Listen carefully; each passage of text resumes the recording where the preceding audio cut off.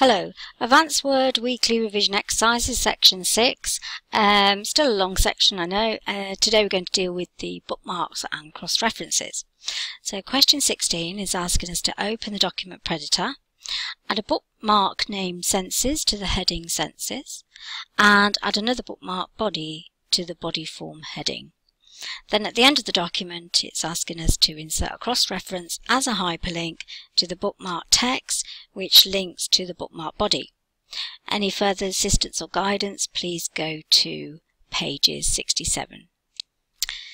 So we're going to open up Predator, double click on that, Predators.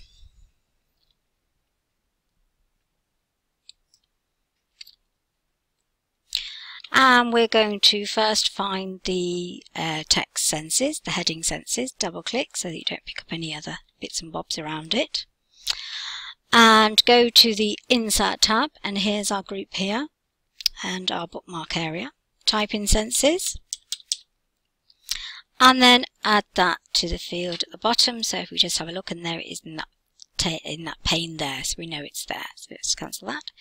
Then it's asking us to bookmark body form heading, which is here.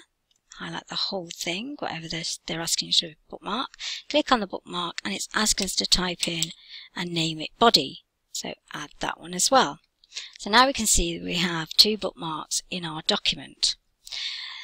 So if we just close that, now we need to go to the end of the document and scroll, scroll down right down to the end and place a cursor at the end, ready for our cross-reference. And it, clicking on the cross-reference, it wants us to um, reference type a bookmark and with bookmark text, and it wants us to create a cross-reference to the bookmark body. So let's click in there and close.